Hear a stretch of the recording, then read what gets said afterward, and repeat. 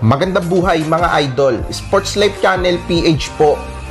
Ito na ang may init na balita mula sa mundo ng PBA. Mga players nag-uumpisa ng lumipat ng mga kubunan. Pero bago yan, huwag niyong kalimutang mag-like at mag-subscribe sa ating channel. Ayan mga bossing ko, ilang linggo bago magsimula ang pagbubukas ng panibagong conference ng PBA.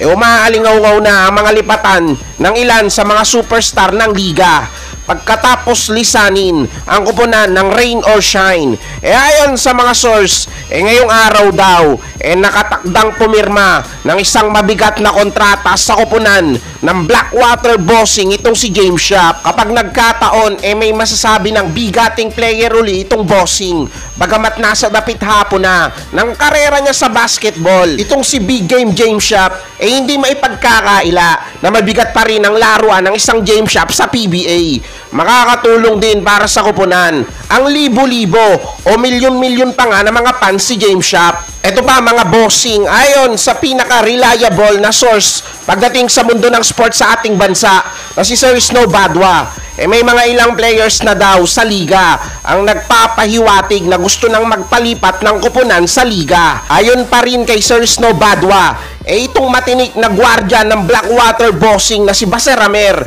eh mukhang on the way na sa kupunan ng NLEX. Sa ngayon, eh nasa unrestricted free agent na itong si Amer. Mahusay na gwardya itong si Baser Amer. At yung pagiging veterano niya eh, malaking bentahe para sa kanya.